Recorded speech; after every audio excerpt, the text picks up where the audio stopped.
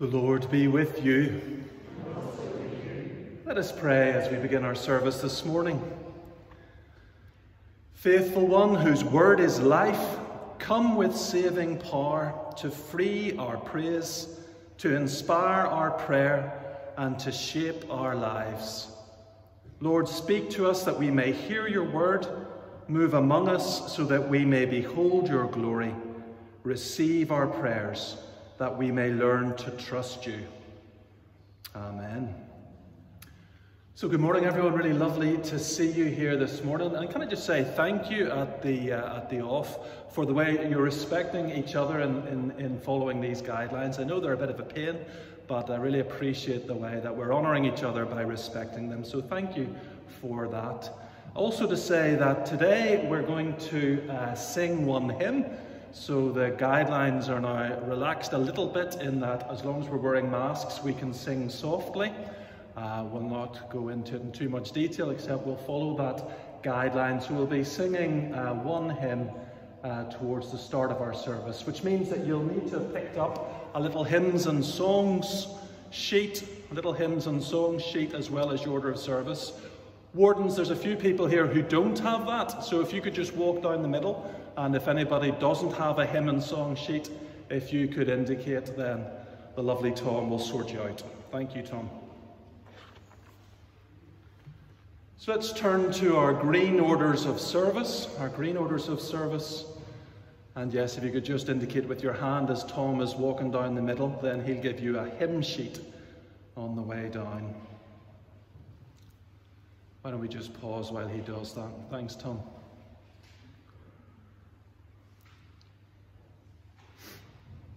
There's a few more, Tom. A few more. We work our wardens hard, don't we? Get good value for money.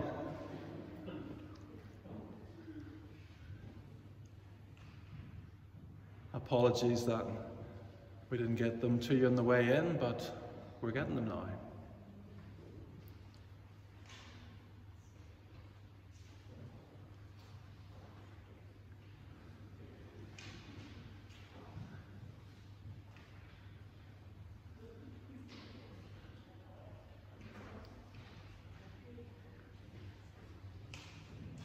So if at all possible, if we can give it directly to people, Tom, I know it's a hassle, but thank you very much. That's great. Lovely. So let's turn to our green sheet then, and we'll begin our service. Beloved in Christ, we come together to offer to Almighty God our worship and praise and thanksgiving, to confess our sins and to receive God's forgiveness, to hear his holy word proclaimed, to bring before him our needs and the needs of the world, and to pray that in the power of his Spirit we may serve him and know the greatness of his love. As we enter a time of confession, we pray, Come, Holy Spirit of God. Our Lord Jesus Christ said, The first commandment is this Hear, O Israel, the Lord our God is the only God.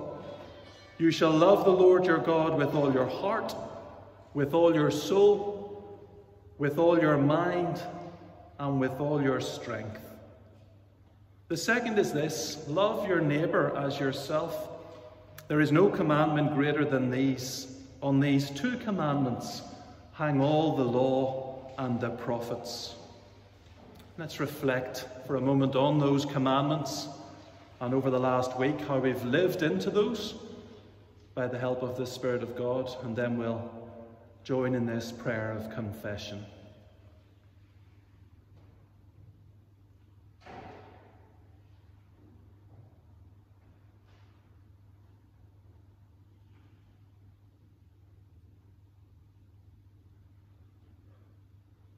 And so we pray, Lord our God,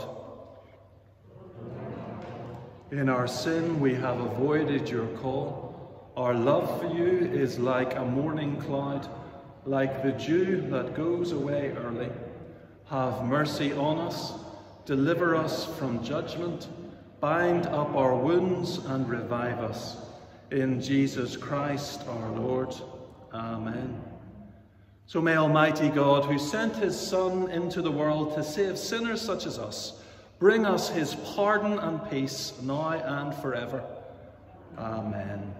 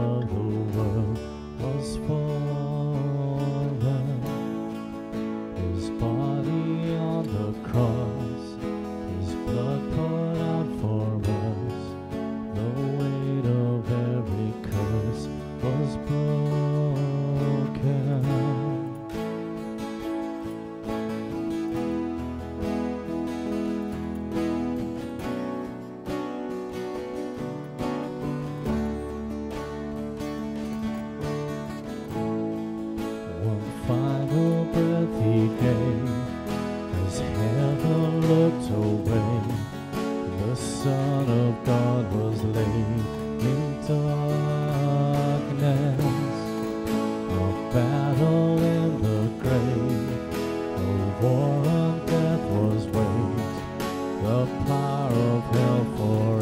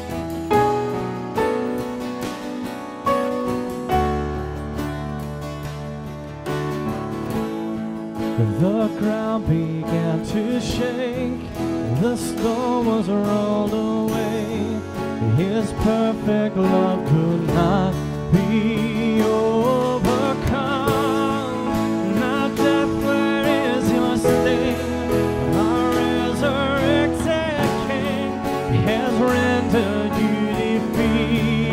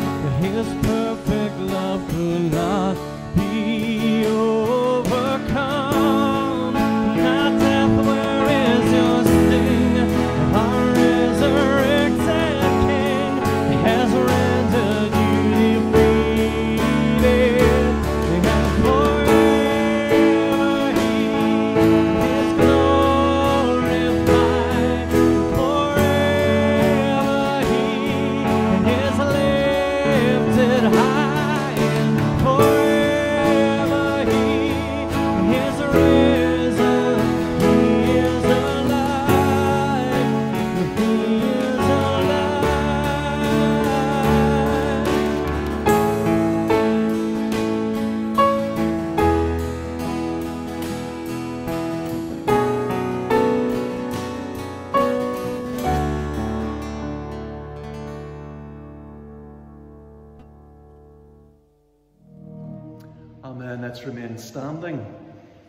What a pleasure it was to sing together. And turning back to our orders of service. O Lord, open our lips. O God, make speed to save us. Glory to the Father, and to the Son, and to the Holy Spirit.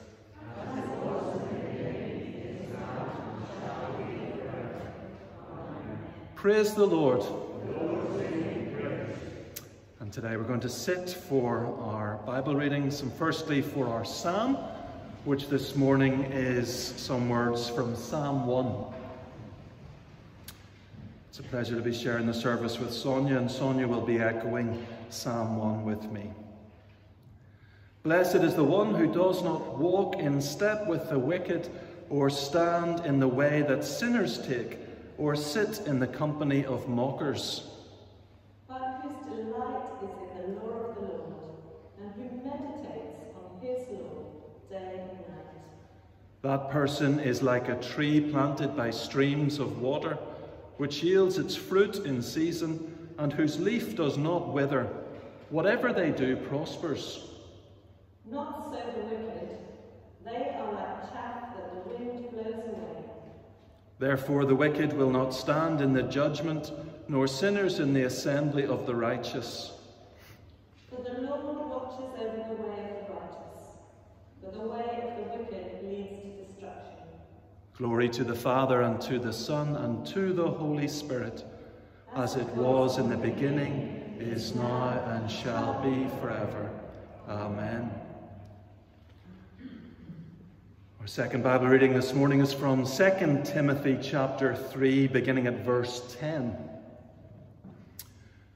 You, however, know all about my teaching, my way of life, my purpose, faith, patience, love, endurance, persecutions, sufferings, what kinds of things happened to me in Antioch, Iconium, and Lystra, the persecutions I endured. Yet the Lord rescued me from all of them. In fact, everyone who wants to live a godly life in Christ Jesus will be persecuted, while evildoers and impostors will go from bad to worse, deceiving and being deceived. But as for you, continue in what you have learned and have become convinced of, because you know those from whom you learned it, and how from infancy you have known the Holy Scriptures which are able to make you wise for salvation through faith in Christ Jesus. All scripture is God breathed and is useful for teaching, rebuking, correcting, and training in righteousness, so that the servant of God may be thoroughly equipped for every good work. This is the word of the Lord. Let's stand together and we declare our faith in the words of the Nicene Creed. We believe in one God, the Father, the Almighty, maker of heaven and earth, of all that is seen and unseen. We believe in one Lord Jesus Christ, the only Son of God, begotten of the Father, God from God, light from light, true God from true God, begotten, not made, of one being with the Father. Through him all things were made. For us and for our salvation, he came down from heaven, was incarnate from the Holy Spirit and the Virgin Mary, and was made man. For our sake, he was crucified under Pontius Pilate. He suffered death and was buried. On the third day, he rose again in accordance with the Scriptures. He ascended into heaven and is seated at the right hand of the Father. He will come again in glory to judge the living and the dead, and his kingdom will have no end. We believe in the Holy Spirit, the Lord, the giver of life, who proceeds from the Father and the Son who with the Father and the Son is worshipped and glorified, who has spoken through the prophets. We believe in one holy, Catholic, and Apostolic Church. We acknowledge one baptism for the forgiveness of sins. We look for the resurrection of the dead and the life of the world to come. Amen. The Lord be with you. Let us sit or kneel to pray. Lord, have mercy. Lord, have mercy. Our Father who art in heaven, hallowed be thy name. Thy kingdom come, thy will be done on earth as it is in heaven. Give us this day our daily bread, and forgive us our trespasses, as we forgive those who trespass against us. And lead us not into temptation but deliver us from evil. For thine is the kingdom, the power, and the glory, forever and ever. Amen. Show us your mercy, O Lord. O Lord, save the Queen. Let your ministers be clothed with righteousness. O Lord, save your people. Give peace in our time, O Lord. O God, make clean our hearts within us. A collect for the 15th Sunday after Trinity. God, who in generous mercy sent the Holy Spirit upon your church in the burning fire of your love, grant that your people may be fervent in the fellowship of the gospel that always abiding in you, they may be found steadfast in faith and active in service. Through Jesus Christ our Lord. Amen. O God, the author of peace and lover of concord, to know you is eternal life and to serve you is perfect freedom. Defend us in all assaults of our enemies, that we, surely trusting in your protection, may not fear the power of any adversaries through Jesus Christ our Lord. Amen. In our intercessions this morning, we're using words written by a lady called Jen Ryder, slightly adapted, but we'll be using the familiar call and response. So when I say, Lord, in your mercy, if you can respond, hear our prayer. Let's pray. God in the stillness and the calm, who met Elijah not in the rushing wind, but in quietness, who brought peace to a group of fishermen in a raging storm, be with us here and now. Help us to set aside the busyness of our lives and to listen to your living word. Lord, in your mercy. God of relationships, God of compassion and love, who gave Ruth to Naomi when she had no family, who gave Abraham and Sarah a baby when they had given up hope, who brought together the disciples and other followers of Jesus, we think of our relationships. We think of our families we think of our friends and colleagues. We think of our church family here at St. John's, and particularly this week, the family of the late Jack Miller. And as the music plays, we lift these loved ones to you, living God.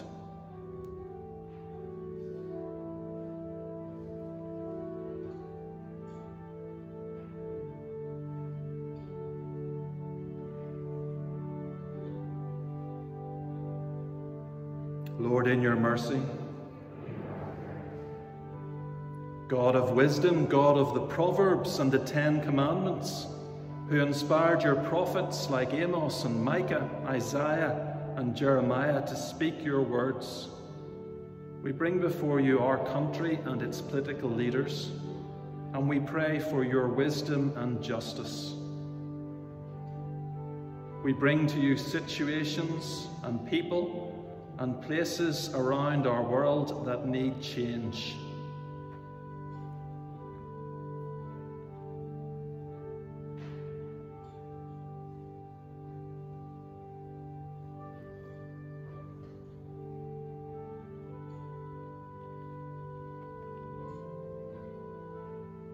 Lord, in your mercy. God of surprises, God of hopes and plans, who called Samuel in the night and who met Paul in blinding light. Help us to hear your call for our lives, however big or small. Open our ears and our eyes to your promptings and guidance so that we can see the people and places, the opportunities that you want us to serve you in.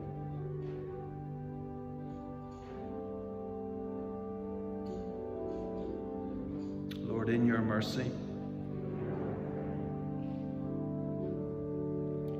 God of revelation, who came to us as one of us, you call us to be the light of the world, to love our enemies, to treat our neighbours as we would be treated, who urges us not to worry, but who encourages us to seek and we will find, who told us that we're so loved that if we were one of 100 sheep, he would leave the other 99 to look for us if we were lost. Lord, help us to take your words seriously. Let your words shape our lives and give us courage to take new paths and to explore new patterns with you. Help us to hear your call afresh. Lord, in your mercy. So, Living Word, accept these our prayers and help us this week to encounter you in Scripture so that our minds may be informed and our wills strengthened for obedience and service. And now, Lord, as Sonia comes to speak to us from your word and of your word, would you be with her and would you speak through her? In the name of Jesus.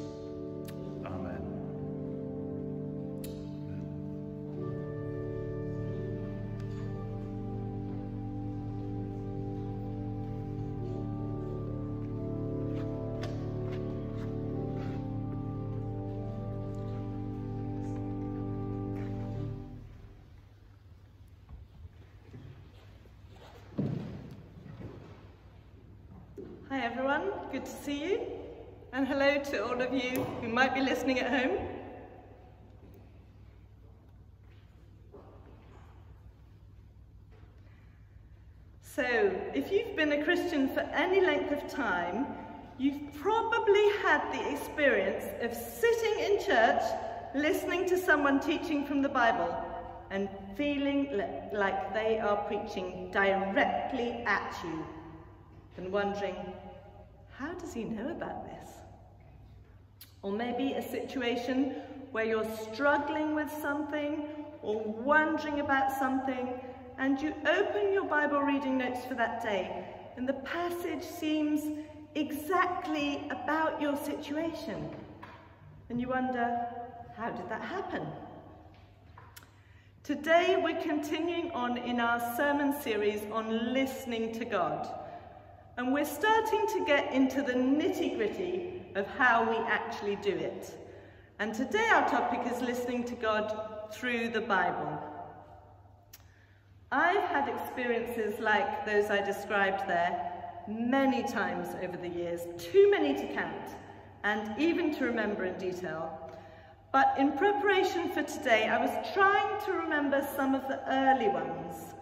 And I thought back to a time when I was a teenager and I remember being in my room one night and I was worried about my exams. And I turned to the Bible and I don't remember whether it was a daily passage from a Bible plan or whether I just opened my Bible, but I read Romans 8:32. And it says this: He who did not spare his own son, but gave him up for us all, how will he not also, along with him, graciously give us all things?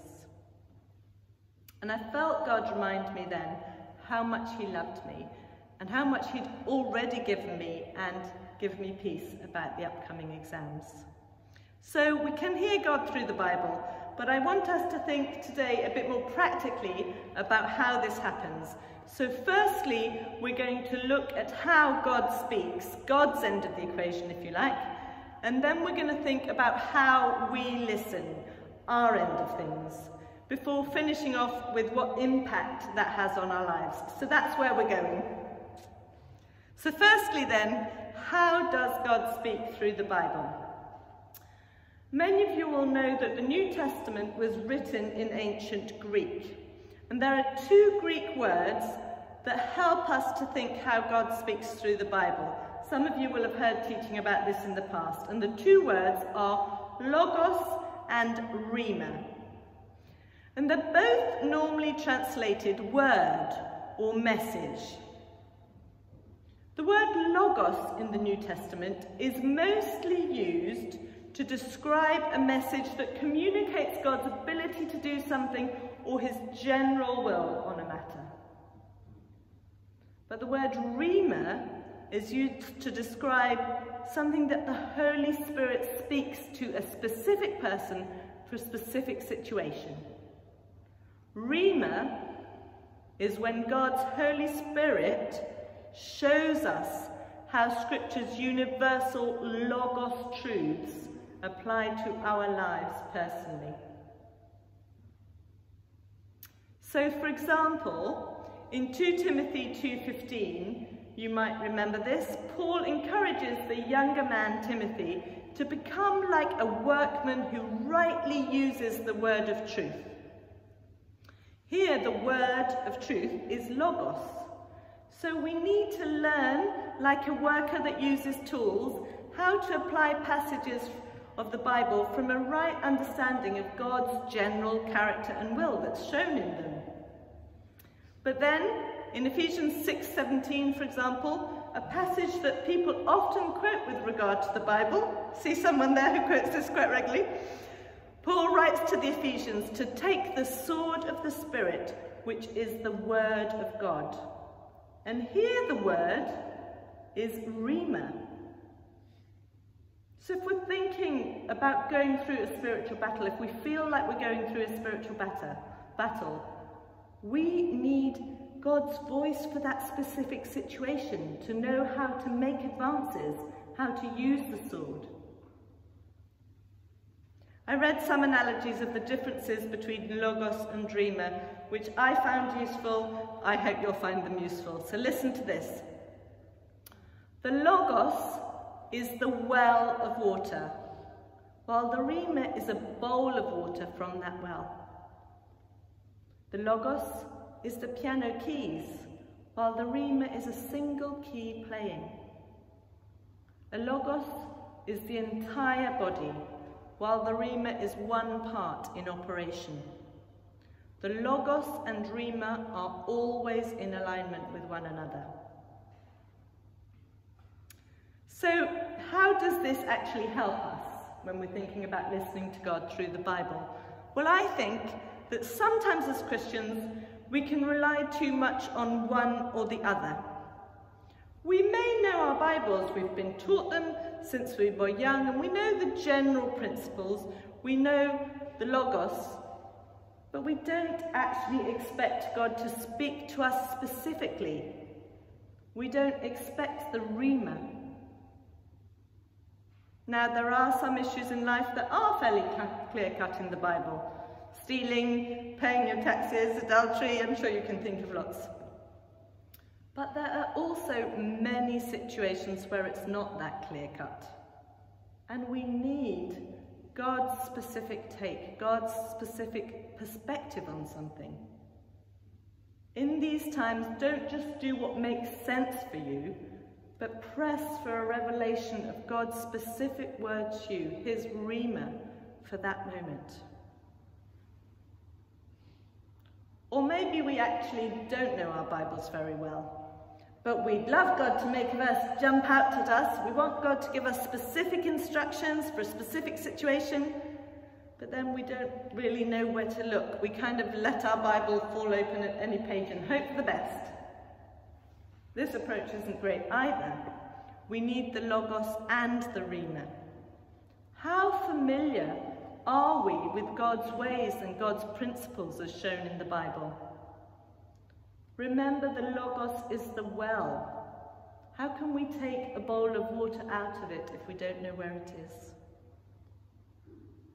If you find it hard to get God's will on a matter or to hear from God, it may be because you don't have a regular relationship with the Logos, the general word of God. It's not that one is staid and boring and the other is exciting. No. Hebrews 4.12 says that God's Logos is living and powerful, sharper than any double-edged sword. We need both. The fire of a true Rhema, specific personal word, must burn on the fuel of the Logos word that's been built into us. God, the Holy Spirit, takes the already spoken and written down Logos from the Bible and speaks the Rhema word to the believer. So that's how God speaks through the Bible, through his general instructions and principles about who he is and what he's like, that we need to get to know and become part of us, but also through the Holy Spirit bringing a specific revelation for us in a certain situation or time. But what about our side of things then? How do we practically listen to God through the Bible? Well, the answer is that we need a range of approaches. Firstly, we need that me and God time alone with the Bible. Then we need to have Bible discussion with friends and peers. And lastly, we need to have gifted preachers and teachers who God uses to mine richer depths of the Bible to speak to us. So let's take each of these briefly in turn. Me and God then. That psalm we read at the beginning is one that I love and it talks about someone who delights in God's instruction and who meditates on it. We need to have those quiet, still, regular times with God where we ask him to speak to us through the Bible and we make an effort to get to know it well, so much that we delight in it, we savour in it, we read bits over and over, we bring them to mind. And then sometimes we need to go a bit more in depth. We need to really study. Maybe we decide to get to know a particular book really well. We go through it verse by verse with a commentary, we take notes, we grapple with some of the harder issues. For most of us, this won't be something that we can do every day, but let's actually book those times in to study a bit more in depth, while still checking in and enjoying the Bible every day. There are absolutely loads of good tools to help us with this, which we've talked about before in sermons and church magazines, so I won't go into that today. But if you want to chat through options, please do come and have a chat to me or call. I love to help people get to know the Bible better. Keziah and I have recently started a Bible plan on the YouVersion app called The Essential 100, which goes through 100 Bible passages to get to know the Bible better. So maybe if you haven't uh, read the Bible regularly or got into that pattern, you could start with that. Or you could pop into Faith Mission on the Castlereagh Road or the Bookwell on the Belmont Road and just look through some of the things they've got there. Um, you know, there's different styles and you could just see what would suit you. So that's me and God. Then there's Bible discussion. The Bible is actually a library of ancient texts spanning thousands of years and written by a whole range of people from different cultures. Some things in it are super easy to understand, even if they might be quite hard to apply in your life. This week I've been thinking about love your enemies, a classic example, easy to understand, hard to do. But then some things are actually quite hard to understand in the first place. Context and interpretation are important to help us to get God's meaning. And we won't be able to hear clearly from God and learn how to apply everything in our lives just by ourselves. We, we won't be able to do that. That's where the church family comes in. We're a body. We need each other as much in the area of listening to God through the Bible as in any area. So get into a Bible study group, meet together with other Christian friends, maybe look at a particular question that interests you, look up the passages that relate to that question and chat about them. What do they mean? How do you live that out? And this can be formal, a structured course or group, or it can be informal and organic. You know, pull people together and say, let's have a meal once a week and, you know, go through Ephesians or something together. Uh, and to, to help you to hear from God, and that needs to happen regularly. God will speak to you through others, and He'll actually speak to others through you as well as you discuss it. And then lastly, we listen to God through the Bibles by seeking out opportunities to hear the Bible explained and applied through preaching and teaching. The most obvious way, of course, is by coming to church week, week by week like you are today, and obviously I think that's important. But I would encourage you to do more than that. There are some brilliant Bible teachers out there. There are people who God uses to powerfully speak to many. And in this day and age, we're so blessed that we can access their teaching so easily through books and podcasts and online conferences and YouTube talks. I was delighted to see some of you plugging into the Kingdom Women teaching online last week, and I pray that God used that to speak to you. When I was thinking about this part of listening to God, the phrase week by week meet, but also special feasts came to me. Week by week meet, but also special feasts. We need to have that regular and comprehensive teaching from our own church body week by week. But we also have the opportunity to enjoy God's feasts for us at certain times and places from others. Take those opportunities.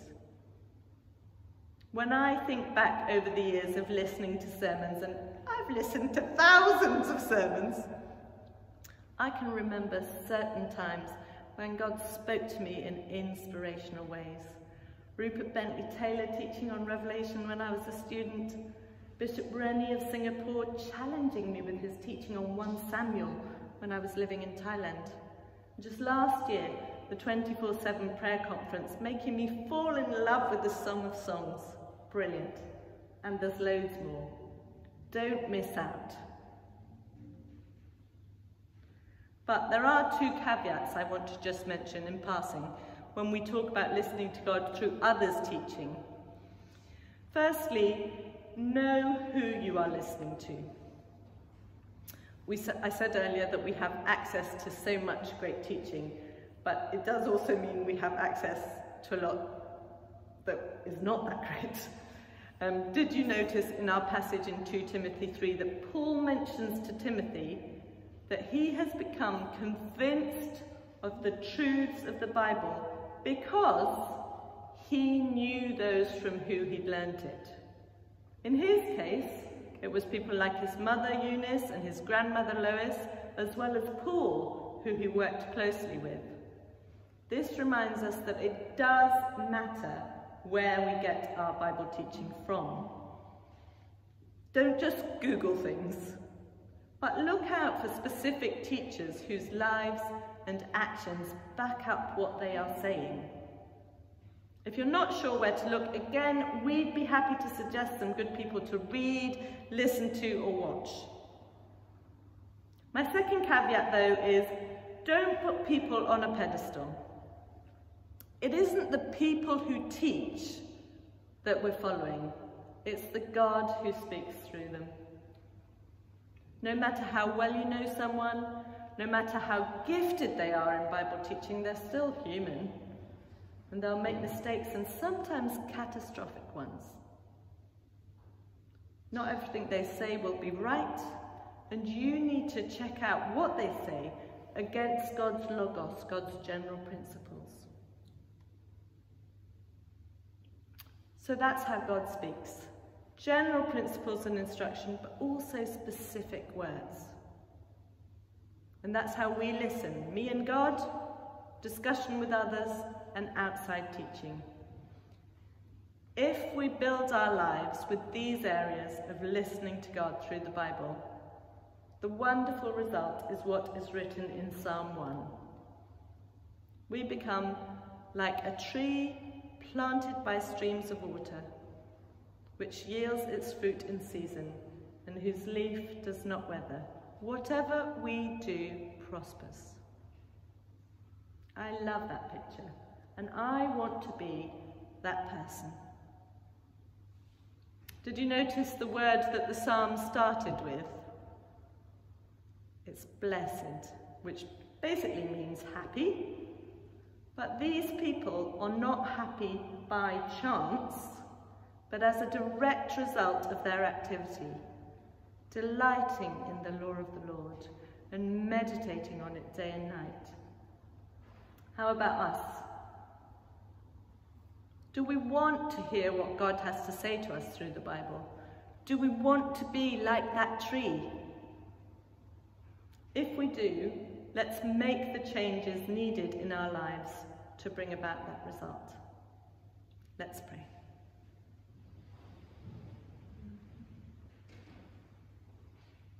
Heavenly Father, thank you so much for the Bible. Thank you that you show us who you are, you show us your ways through it, and also you speak to us in specific situations where we really need it, Lord. Thank you for the many, many ways we can listen to you through the Bible. Thank you for those times alone with you. Thank you for others who we can chat things through with. Thank you for those you've gifted, Lord, to preach and teach.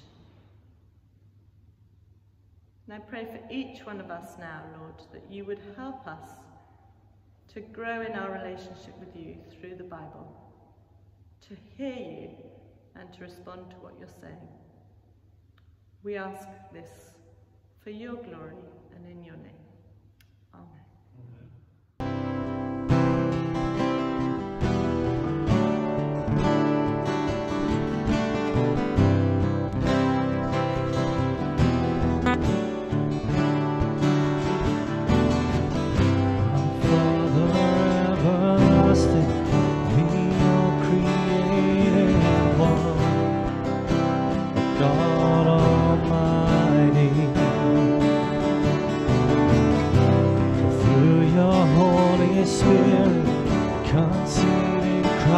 the sun, but Jesus our Savior.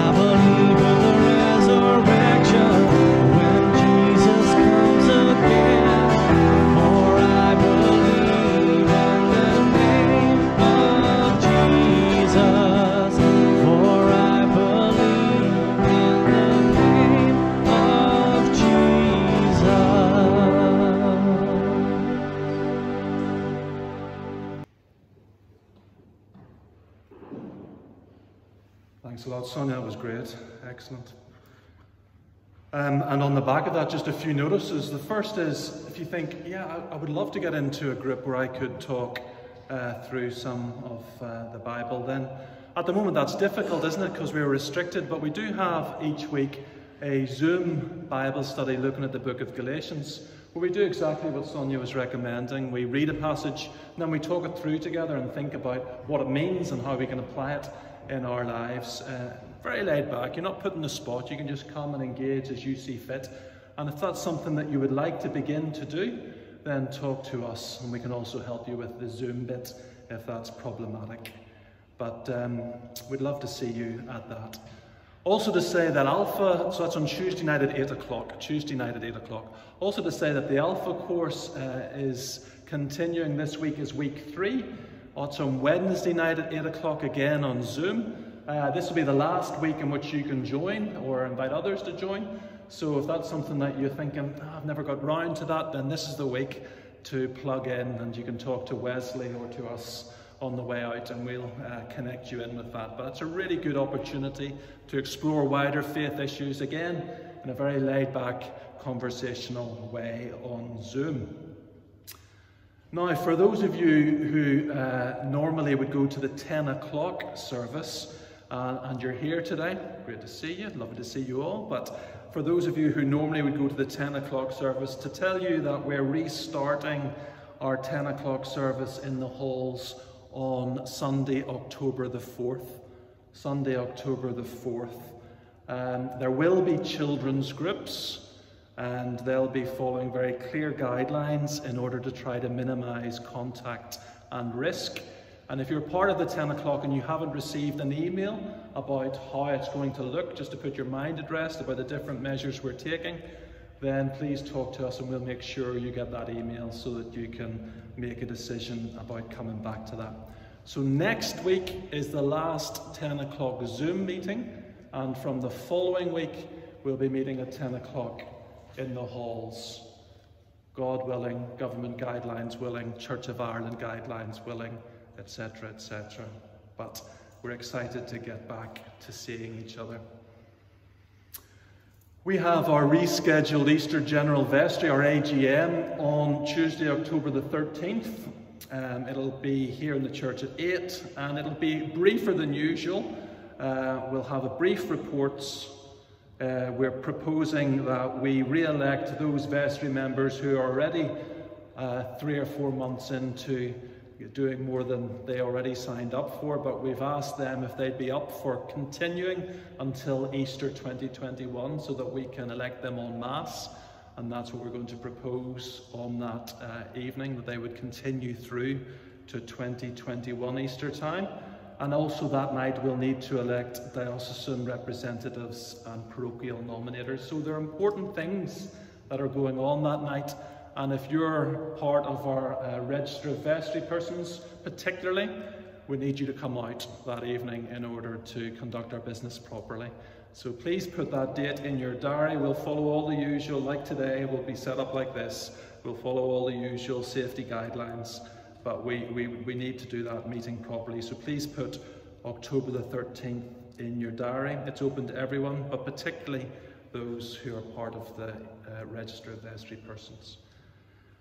Two other wee things. Just a reminder that if you do fall ill this coming week, please do let us know. It's really important we do the track and trace because we need to uh, just cover each other in that way. So if you fall ill this week, let us know so that we can let others know. And uh, at the end of the service, if you can follow Tom and Norman's guidance, they'll make sure that we go out row by row.